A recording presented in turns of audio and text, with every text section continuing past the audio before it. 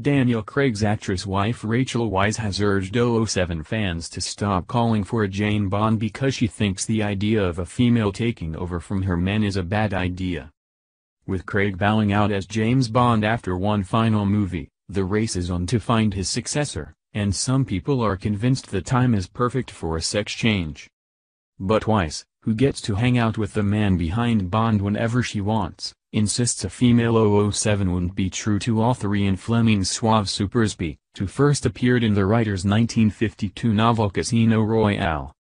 He, Fleming, devoted an awful lot of time to writing this particular character, who is particularly male and relates in a particular way to women, Rachel tells Screen Rant.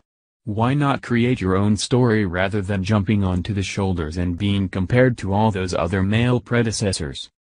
Women are really fascinating and interesting and should get their own stories, she adds. Meanwhile, newly engaged Idris Elba remains a fan favorite to take over from Daniel Craig, becoming the first black Bond even though he insists he has heard nothing official and fears he might be too old to play 007. If Bond bosses decide to experiment with a female Bond, the X-Files Gillian Anderson has made it clear she would be very interested, while Charlize Theron appeared to be auditioning for the role in last year's, 17, Atomic Blonde.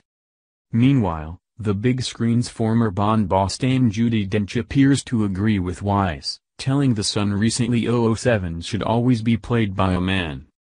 But UK Prime Minister Theresa May is among those who would like to see a female in the role, one day there should be a female James Bond, she recently said.